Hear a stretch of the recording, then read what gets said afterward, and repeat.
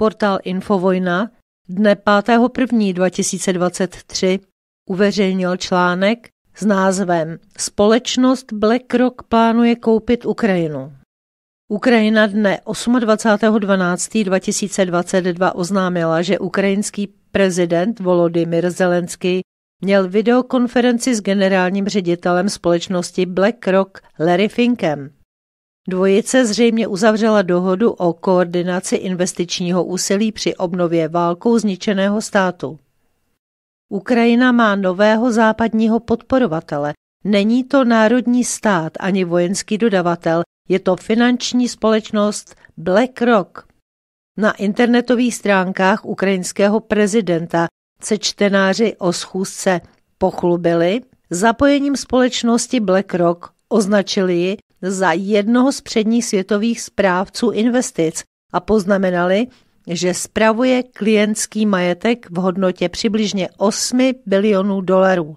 Zelensky a Larry Fink se dohodli, že se v nejbližší době zaměří na koordinaci úsilí všech potenciálních investorů a účastníků obnovy naší země a nasměrování investic do nejvýznamnějších a nejvlivnějších odvětví ukrajinské ekonomiky, tvrdilo se ve čteném textu. V tiskové zprávě se rovněž uvádí, že někteří vedoucí pracovníci společnosti BlackRock navštíví Ukrajinu v roce 2023, aby zde plnili své poradenské povinnosti. Cituji, v souladu s předběžnými dohodami uzavřenými počátkem tohoto roku mezi hlavou státu a Larry Finkem pracuje tým společnosti BlackRock již několik měsíců na projektu. Jehož cílem je poskytnout ukrajinské vládě poradenství ohledně struktury fondů na obnovu země, uvádí ukrajinská vláda. Jednou z takových předběžných dohod uzavřených mezi společností BlackRock a Ukrajinou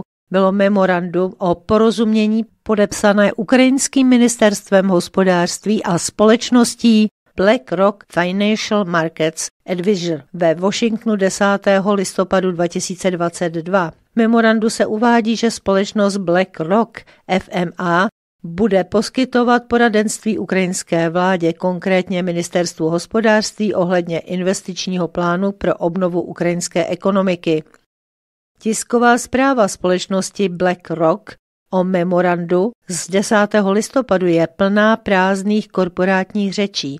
Podle této zprávy bude společnost BlackRock spolupracovat s Ukrajinou na vytvoření plánu pro realizaci investičního rámce, včetně určení možností návrhů, předpokládaného uspořádání struktury mandátu a řízení. Předchozí zářijové setkání Zelenského a Finka, které zřejmě zorganizoval Andrew Forrest ze skupiny Fortescue Metals, položilo základy pro rostoucí spolupráci ukrajinské vlády se společností BlackRock. Ukrajinský prezident a generální ředitel společnosti BlackRock údajně diskutovali o tom, jak přilákat na Ukrajinu veřejné a soukromé investice. Zpět ve státech se tato investiční společnost se sídlem v New Yorku dostala do hlavních zpráv. Zpráva deníku Wall Street Journal v létě tvrdila, že BlackRock je jednou z několika velkých investičních firm, které způsobují deformace na trhu s bydlením. Zpráva popisovala, jak společnost BlackRock a jí podobné firmy využívají obrovské množství kapitálu ke skupování rodinných domů, čímž zvyšují ceny.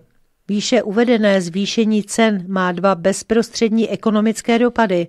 Za prvé, vyšší ceny bydlení jsou výhodné pro nemovitosti, které již společnost BlackRock vlastní, zejména v oblastech, kde firma investovala velké prostředky. Druhým efektem je, že uměle vysoké ceny vytlačují pracující rodiny, takže na trhu zůstávají pouze bohatí nebo investiční firmy, které disponují obrovským kapitálem. Například v Houston se miliardář Fink údajně podílí na čtvrtině nedávných nákupů domů. Jednoduše skupuje celé čtvrti a využívá je k pronájmu.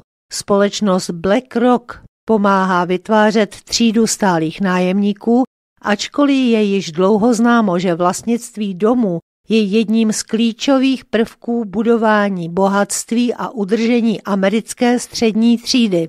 Je to celé poněkud k vzteku. Lze téměř zaručit, že BlackRock dostane od ukrajinské vlády za poradenství při tomto plánu rekonstrukce slušně zaplaceno a kde v současnosti ukrajinská vláda bere finanční prostředky, když je její ekonomika v troskách a válka je drahý podnik? Samozřejmě od vlády Spojených států. Do konce kalendářního roku poskytnou Spojené státy ukrajinské vládě 13 miliard dolarů přímé rozpočtové podpory, aby se vyhnula výpadkům a přímému bankrotu a prezident Joe Biden slíbil, že bude Ukrajinu podporovat tak dlouho, jak bude třeba.